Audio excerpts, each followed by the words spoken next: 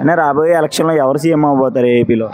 Hundred percent Chandrababu Naidu CM అవుతారండి. పక్క అండి అందరూ చూ చూడడం రాబోయే ముప్పై సంవత్సరాల పాటు నేనే సీఎం అవుతాను అంటున్నారు జగన్ గారు. ఇగో చూసామండి ఒకసారి ఛాన్స్ అన్నారు కదా. ఈ ఒకసారి ఛాన్స్ ఇచ్చారు జనాలు.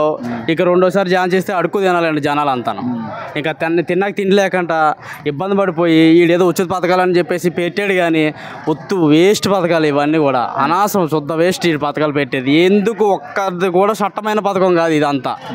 వేస్ట్ పథకాలు అన్నమాట. ఎవరికో వచ్చినోడికి వస్తున్నాయి రానోడికి రావట్లేదు అంతే. వాలంటీర్లు అంటే వాళ్ళ ఇష్టం వచ్చినోడికి చేస్తున్నారు వాళ్ళ ఇష్టం ఇష్టం లేదంటే చేయడం మానేస్తున్నారండి ఆ పథకాలు.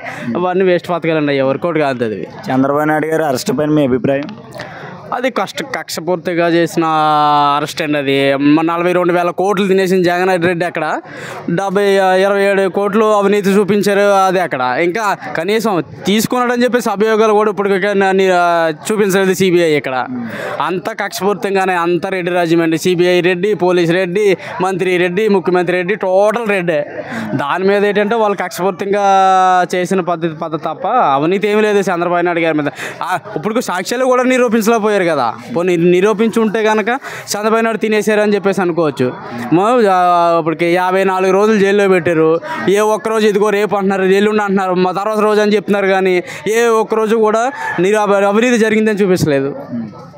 ఈ రోజా గారు పవన్ కళ్యాణ్ మీద ఎక్కువ ఎక్కువ వ్యాఖ్యలు చేస్తున్నారు కదా ఎంతవరకు కరెక్ట్ అయ్యి? ఏమండి ప్రస్తుత రాష్ట్రంలో ముఖ్యమంత్రి మంత్రి పదవులకి మినిమం నాలెడ్జ్ లేని మంత్రులండి వీళ్ళందరూ కూడా. ఎందుకంటే వాళ్ళకి మంత్రి పదవికి వాళ్ళ యొక్క మంత్రి పదవికి నేను ఏం చేస్తున్నానన్నది కూడా తెలియదండి వాళ్ళకి.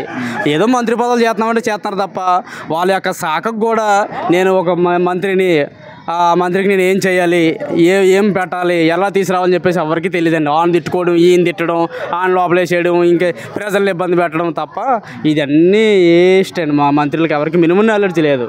ఒక్క మాటలో ఇరవై నాలుగులో ఎవరు అవ్వబోతున్నారు సీఎం మీ అభిప్రాయం? హండ్రెడ్ పర్సెంట్ పక్క చంద్రబాబు నాయుడు సీఎం అండి థ్యాంక్ యూ ఆ, ఓకే